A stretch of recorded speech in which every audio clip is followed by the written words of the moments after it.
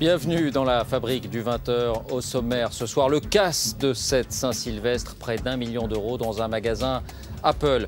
Les réveillons partout dans le monde. La Corée du Nord qui annonce un grand changement et qui tend la main aux voisins sud-coréens.